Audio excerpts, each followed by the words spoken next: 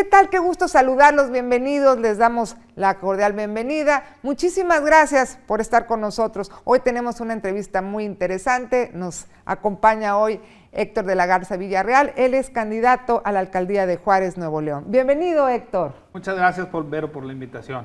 No, al contrario, muchas gracias a ti por dedicarnos tu tiempo y sabemos que andas ahí corriendo con todo esto eh, de tu candidatura, pero te agradecemos. Héctor, platícanos un poco, eh, bueno, muchos te conocen eh, y también queremos que nos compartas quién es Héctor el ser humano, quién es Héctor la persona que mucha gente te sigue, que mucha gente te quiere en Juárez. Platícanos. Muchas gracias. Mira, te platico un poco sobre mí. Yo soy abogado, egresado de la Facultad de Derecho y Criminología de la Universidad Autónoma de Nuevo León. Tengo maestría en Derecho Fiscal. Okay. Soy emprendedor, soy abogado y actualmente, como le dices, pues me tocó participar en esta candidatura por la coalición Juntos Haremos Historia en Nuevo León para la alcaldía de Juárez.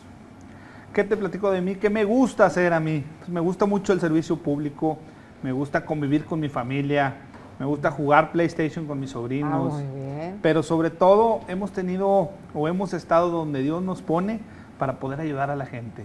Fíjate que eso es lo que más nos apasiona en el servicio público. Tengo más de 20 años en el servicio público y pues esa siempre ha sido nuestra constante, ayudar en verdad al que lo necesita desde la trinchera donde Dios nos ponga. Qué bueno, Héctor. ¿Cuántos hijos tienes, Héctor? No tengo hijos, fíjate, todavía.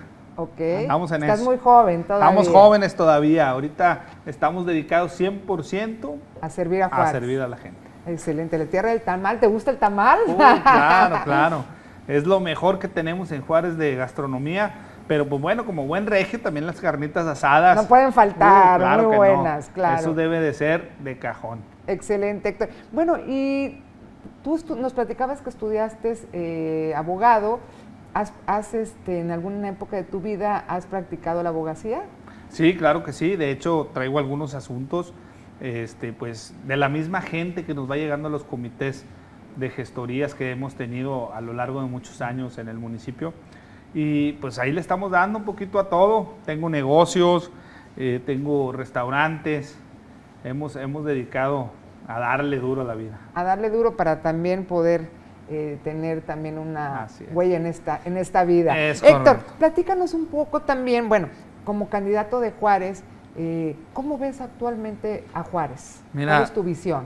Lamentablemente Juárez hoy se encuentra en el olvido. Es un municipio de más de 470 mil habitantes con un presupuesto cercano a los 900 millones de pesos anuales. Y te invito, Vero, a que lo recorras un día y te des cuenta cómo se encuentra, las calles no están pavimentadas, eh, nos falta capacitar a nuestros policías, el alumbrado público deficiente, no tenemos una infraestructura de transporte ni vial, nos falta mucho trabajar en esos rubros. Lamentablemente, eh, los partidos en el poder, el PRIAN, que son los dos partidos que han gobernado Juárez, se han dedicado solamente a explotar el municipio, pero no ayudar a la gente. Hoy te platico que no tenemos clínicas municipales que den la capacidad para atender a la población de Juárez.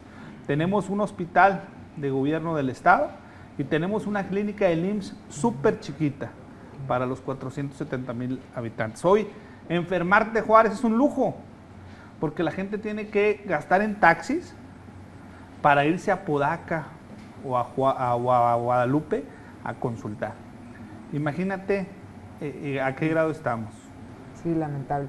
Héctor, eh, me imagino que ya, bueno, ya falta poco para la elección del 6 de junio. ¿Cuál sería tu propuesta fundamental para los ciudadanos de Juárez? Primero, la seguridad. Tenemos que meter mano dura en ese tema y estoy convencido que instalando el programa de Proxpol, que es la policía de proximidad, que nuestra amiga Clara Luz Flores implementó muy bien en Escobedo y es premiada a nivel internacional, podemos lograr una policía ejemplar, una policía que el ciudadano no le tenga miedo, una policía que el ciudadano conozca, que el ciudadano sepa quiénes son sus guardias en la mañana, quiénes son los que lo protegen en la tarde, una policía que tenga la facilidad de poder mediar entre los vecinos, porque a veces tenemos mucho problema entre los vecinos. Lamentablemente en Juárez tenemos casos especiales de muchas casas abandonadas, demasiadas. Y ahí es donde entra gente a hacer vandalismo, a hacer destrozos, a hacer malas cosas. Ahí necesitamos esa protección. Que la gente cuando llegue de trabajar en la madrugada se sienta que ya sepa quién es su policía, pues te vas a sentir en la confianza de poder tener esa interacción con él. Hoy te le escondes más a veces al policía que al ladrón porque no sabes quién es el que te va a, dar la mordida más fuerte, ¿no? Entonces, todos esos detallitos, Vero, son los que tenemos que hacer con esa policía de proximidad. ¿En cuánto tiempo la vamos a hacer? La tenemos que implementar en los primeros 100 días de gobierno. ¿Y por qué sabemos que lo vamos a hacer? Porque vamos a tener a una gobernadora que ya lo hizo, a una gobernadora que ya lo sabe hacer, entonces solamente es pedir al consejo, como dicen, el que pregunta no se equivoca. Y tenemos una gran líder en materia de seguridad, Clara, y estamos convencidos que en Juárez lo podemos hacer. Ayer una vecina, se llamaba Lupita García, nos estaba platicando que cómo puede ser que con el presupuesto que tiene Juárez estemos rezagados. Es un presupuesto similar al de San Pedro, ¿eh? Sí, sí, sí. Y estamos hablando de dos ciudades muy diferentes, pero muy diferentes porque el PRI por el PAN se han encargado de hundirla. Porque la gente de Juárez es trabajadora, la gente de Juárez es luchona. La gente de Juárez, te platico, pero es gente que se levanta a las 4 de la mañana para poder desplazarse a su trabajo a Monterrey, a San Pedro, a, García, a todo el área metropolitana, porque no generamos empleo en Juárez. Imagínate que el 70% de la gente de Juárez no trabaja en Juárez. ¿Tú, ¿Tú qué harías ahí en este tema que estás comentando precisamente para fomentar el empleo? Mira, traemos un proyecto muy padre. Tenemos dividido Juárez ya en nueve sectores y hay uno que es el norte, donde podemos atraer inversión de parques industriales, de parques de ciencia y tecnología, mercados de abastos. Estamos en un lugar de ubicación geográfica privilegiado, cerca de la carretera, perdón, cerca de la carretera. Podemos traer a, inversionistas, pero ¿qué te pide el inversionista para poder llegar a tu municipio? Seguridad, infraestructura vial. Y Juárez hoy no se las puede ofrecer. Por eso tenemos que meter en esos temas rigor. Después, posteriormente, empezar a desarrollar alrededor, que la gente de Juárez viva cerca de esas empresas, que el trabajo que generemos sea para que ellos estén ahí. Imagínate qué padre que tú vivas a 10, 15 minutos de tu lugar de trabajo. tu tiempo de convivencia con la familia se nos eleva, ¿no? Y eso es lo que necesitamos hacer. Hoy te digo en Juárez que no hay dos o tres parques en buen estado. Todos están sin pintar, sin zacate, lleno de piedras, sin nada de mantenimiento, sin bancas. Y los de gobierno, pues es muy fácil echarle la culpa a la gente, ¿no? Decir, no, es que la gente no cuida sus lugares. No, señores. El problema es que cuando están haciendo actos vandálicos, la policía no llega. Hay lugares donde la policía no llega. Imagínate cómo estamos en Juárez. Entonces, necesitamos fomentar eso. Si, los empresarios invierten en el municipio es porque nosotros le vamos a dar seguridad y vialidades. Una vez que logremos eso, vamos a empezar a regenerar todas esas colonias de Juárez, a transformarlas, porque sí se puede. La gente de Juárez es trabajadora, la gente de Juárez le gusta convivir con su familia, como a todos nosotros, pero, pero los tiempos de traslado que te digo son dos horas y dos horas de regreso, son cuatro horas y ocho de trabajo. No, hombre, se te va el día. Se te va medio día solamente, entonces llega la gente cansada. Y luego llegas cansado y no tienes a dónde divertirte porque los parques no están En, buenas condiciones, pues es una, no es una vida digna. Nada, ¿no? es nada. Y por eso los invitamos a que no le tengan miedo a un cambio verdadero. Hoy esta coalición, conformada por Morena Verde, Nueva Alianza y PT, estamos dispuestos a eso porque somos cuatro partidos y esto hay que decírselo a la gente, somos cuatro partidos muy diferentes, pero con un mismo objetivo. ¿Qué les puedo decir del Partido Verde? Pues no sé, encabezamos todas las, todas las banderas ecológicas, todas las áreas verdes, protección animal. El Partido del Magisterio, pues es el, el, el Partido Nueva Alianza, donde tenemos a los maestros que nos exigen una mejor calidad en la educación de sus hijos y hoy más que lo están teniendo a distancia. Es un reto también para ellos. Muy difícil. Muy difícil, pero que han afrontado y que lo están haciendo con todo el gusto del mundo. El Partido del Trabajo, pues es el partido que siempre ha luchado por la clase trabajadora, por la clase obrera, y sigue y lo seguirá haciendo. Y Morena, pues, ¿qué te puedo decir? Es un, un partido que hoy el Partido Verde ha apoyado a nivel nacional porque estamos convencidos en las políticas públicas del presidente porque hoy el presidente le dijo a la gente, ya no tienes que ver una lideresa para que te llegue tu apoyo. El apoyo va a llegar directo a ti, a ti ciudadano de Juárez. ¿Por qué? Porque ya te llega, tú te anotas, se comprueba tu necesidad y te empiezan a depositar directamente. Antes, con el PRI y con el PAN, tenías que irle a ver la cara a la lideresa para ver si te daba. Sí, conforme le cayera, si la lideresa se levantó con el pie izquierdo, te dice, ¿sabes qué, mijito? Vámonos. Y mis comadres, yo sí les doy. Y eso es lo que le pedimos a la gente de Juárez ya, que deje esas malas prácticas, que no se dejen engañar porque ahorita les diga, les vamos a dar una tarjetita, una tarjetita que lo han prometido en muchos estados y que les han quedado mal. Y chequenlo, googleenlo, no les estoy inventando, chequen en Coahuila, chequen en Monterrey, chequen en, Sal, bueno, todo, todo Saltillo. ¿Qué te puedo decir? O sea, fue, es un engaño las tarjetas que están dando. En cambio, las tarjetas que el gobierno federal, a cambio de nada, de ningún partido, ¿eh? eso lo tenemos que dejar claro, porque son programas federales y no se vale decir que son de nosotros o que son de ellos. Es un programa del gobierno federal que todo ciudadano, independientemente del partido que apoye, tiene derechos y comprueba una necesidad y el Partido Verde y los demás partidos aliados han apoyado las políticas públicas de nuestro presidente. Héctor, ¿qué nos dices de los jóvenes? Los jóvenes es un factor muy importante en la sociedad. Eh, son gente muy productiva y que luego pues siempre que buscas un trabajo, no porque estás muy joven, no porque no tienes experiencia, entonces siempre como que los relegas y no les das las oportunidades que se merecen y bueno, y más ahora que hay mucho joven dinámico que estudia y quiere trabajar o quiere tener un empleo y, no encuentran ese apoyo. ¿Tú qué les propones a esos jóvenes para, para Juárez? Mira, yo les prometo luchar para que tengan en verdad oportunidades. Uno pasó por lo mismo, o te piden la edad, te dicen ya eres muy viejo, o te dicen no tienes experiencia. Y la única manera de tener experiencia es que te dejen laborar. Tenemos que empezar a negociar con las empresas que están en Juárez, que le den esos espacios a los jóvenes. ¿Cómo? A lo mejor vamos a darles motivaciones fiscales, vamos a ayudarlos con el predial a las empresas, vamos a empezar a ver bajo qué mecanismo podemos motivar a las empresas a que contraten a los jóvenes desde que son estudiantes, con prácticas, con servicio social, que la gente se dé cuenta que la gente de Juárez puede trabajar. En una reunión también, fíjate, nos comenta una señora que su hijo le está trabajando a unos españoles por medio del internet Dice, oye, mandó uno, es diseñador, dice, mandó unas propuestas y lo contrataron. Entonces, ¿qué quiere decir esto? Que los jóvenes de Juárez tienen la capacidad para lograr mucho. El problema es lo que tú dices, Vero.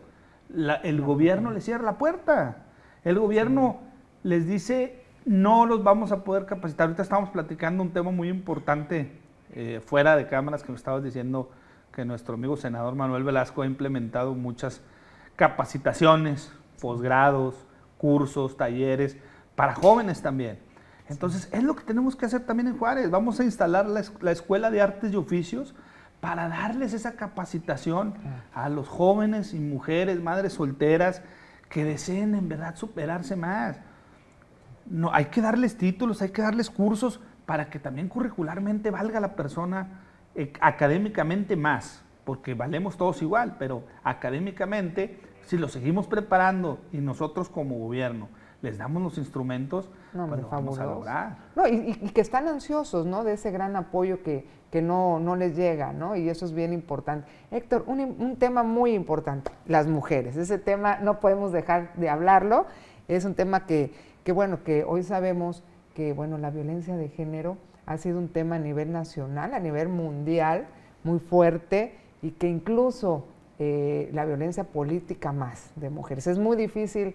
Eh, ahora ya hay mujeres futbolistas, mujeres bomberos, mujeres taxistas, mujeres de todo, ¿no? Antes era muy difícil, o y próximamente gobernadora. Y ¿eh? próximamente también. Entonces, Eh, todo esto ha revolucionado mucho muchas situaciones.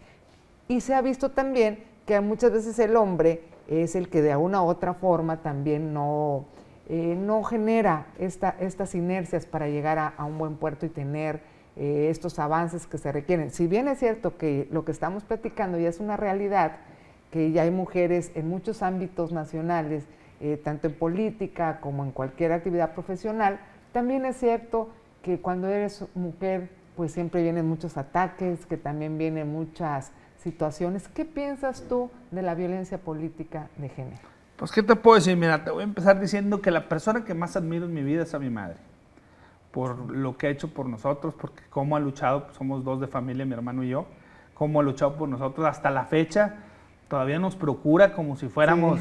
Eso siempre será, ¿no? Nunca, nunca lo va a dejar de ser. Entonces, ¿qué te puedo decir de eso? Yo creo que en esto las cosas se toman de quien viene.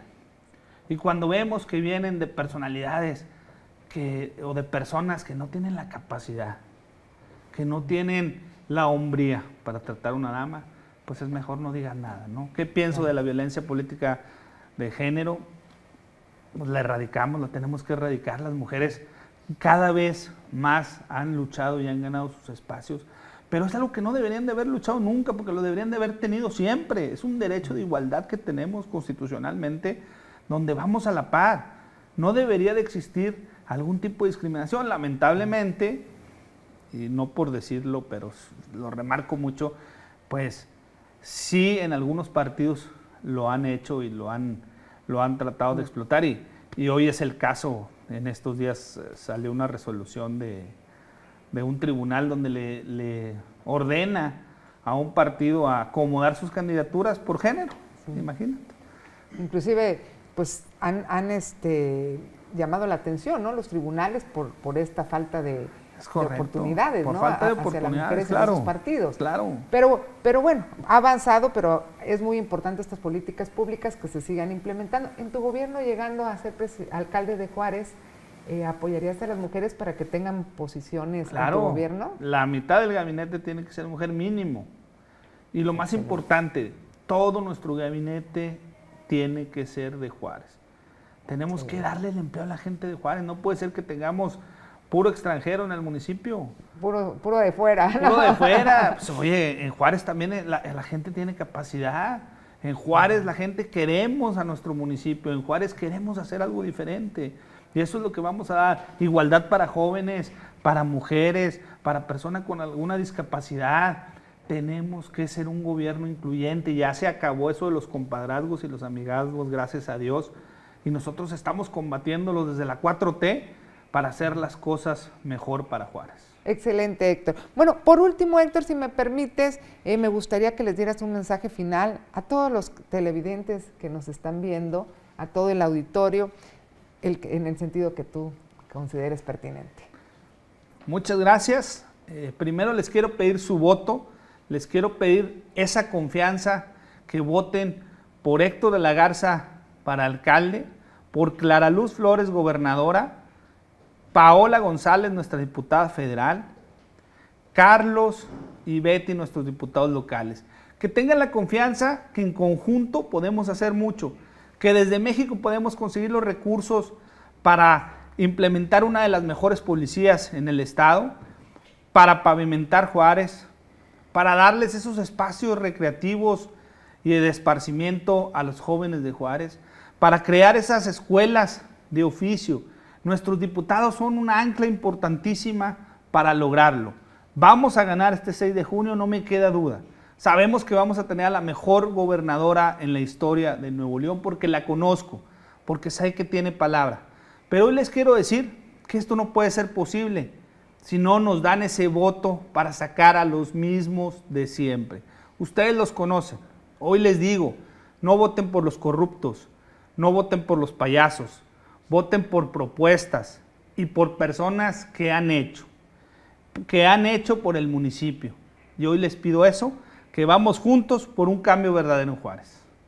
Muchas gracias, Héctor. Pues de verdad te agradecemos infinitamente esta entrevista. Te deseamos la mejor de las suertes y esperamos verte más adelante en otra entrevista. Esta es tu casa y ya también como alcalde, pero quiero como invitarte alcalde, antes para que, nos digas. que te eches una vuelta a Juárez y lo veas. y que te puedas dar cuenta de todo lo mal que han hecho estos canijos. Así será, te agradecemos la invitación y así será, inclusive vamos a irnos acá con el equipo de producción a hacer ahí alguna, alguna, producción en, esta referencia. Te agradecemos muchísimo. Gracias. por acompañarnos en esta entrevista que tuvimos el día de hoy con el candidato Héctor de la Garza Villarreal. Él es candidato por la alcaldía de Juárez Nuevo León, por la alianza Juntos Haremos Historia. Muchísimas gracias y nos vemos en la próxima entrevista. Dios me los bendiga. Muchas gracias.